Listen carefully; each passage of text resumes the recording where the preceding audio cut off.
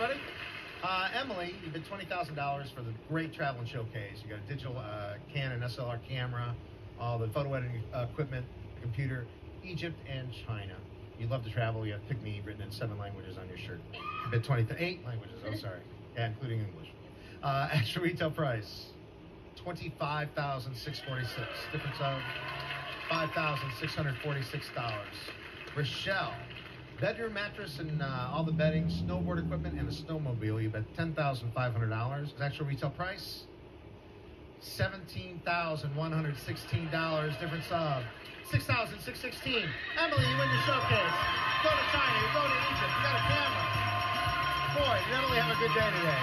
Emily got fifty-four thousand four hundred eighty-three dollars worth of prizes, and she's going to Egypt. She's going to China with brand new camera. Thanks for. Don't forget to get your pets spayed and neutered. We'll see you next time on Price is Right. Bye